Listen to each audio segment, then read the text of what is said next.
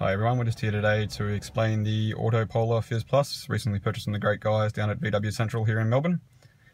Uh, so once we've got it all installed and everything's working, we'll show you just how to set this up. So what you'll need to do is once you turn the ignition on, you'll come to see the MFD screen here. If you scroll through the menu to come to the phone settings and hold the OK button. From here you'll see the Autopolar menus um, what we'll do is we'll go into screen by just pressing OK, into visualization, then into parameters.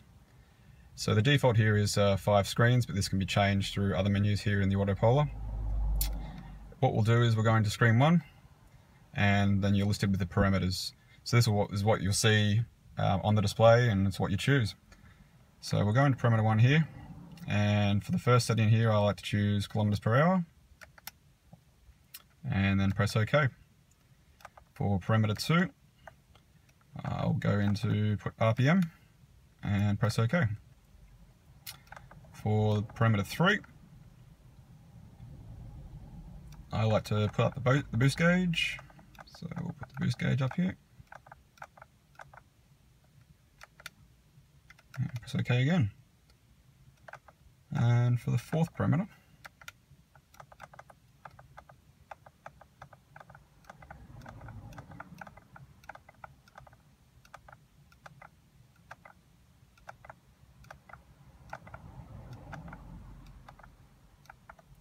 or select torque and press OK.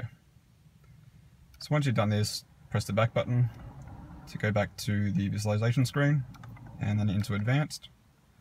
Now from advanced here, you can choose a few other options in terms of how much fuel your car takes, uh, how much oil. Um, but for here, we'll go into pressure units. So this basically lets you choose whether you what kind of units you want to see for your boost gauge and other things. So what we'll do, we'll choose PSI and then press OK.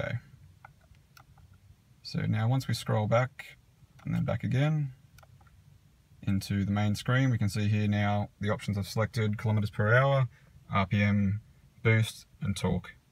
So what we'll do is go ahead and start the car. And now you can see RPM's climbing, obviously as we started the car, and kilometers per hour is nothing because we're not really going anywhere. If I was to put my foot down on the accelerator, you'll see the RPM obviously goes up and the boost shows up on the screen there. For all your VW Central needs, come down and see us at www.vwcentral.com.au. Cheers.